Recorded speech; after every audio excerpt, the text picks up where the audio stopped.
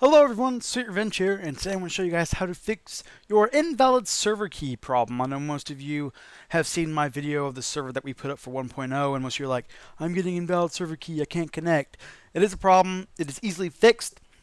You go to this link right here, we'll supply it in the description, and it's by SK89Q. And all you do is you click this download right here, it'll open, it'll open up a download, you download it, save it to your desktop, do whatever, go to your Minecraft folder, appdata.minecraft bin, go to your minecraft.jar, right click, open with whatever unzipping program you have, whatever I use WinRAR. Go in here, go to your metainf folder, and delete everything except for your manifest.mf. Delete, yes I would like to. And now find that download right here, ABP class, and just drop it into your folder like so, and you are good to go. Open Minecraft. Log in.